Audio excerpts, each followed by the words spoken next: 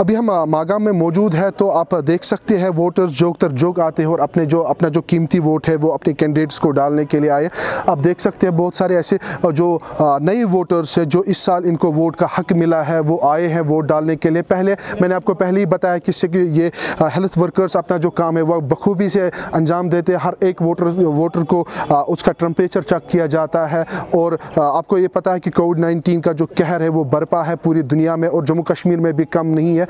हर एक वोटर से temperature check किया जाता है, उसके बाद उसको वोट करने के लिए अंदर जाने देते हैं।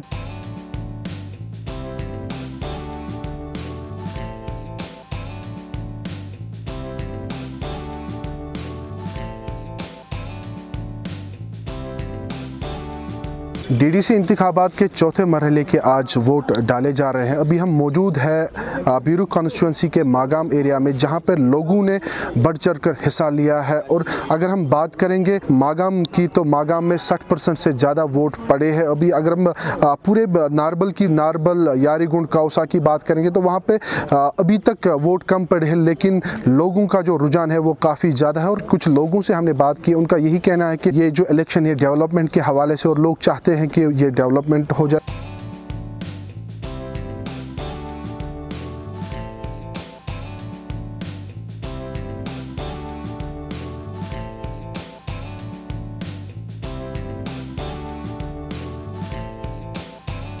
अभी 11 बजे तक 11 एक बजे तक जो भी वोटर्स ने वोट डाला है।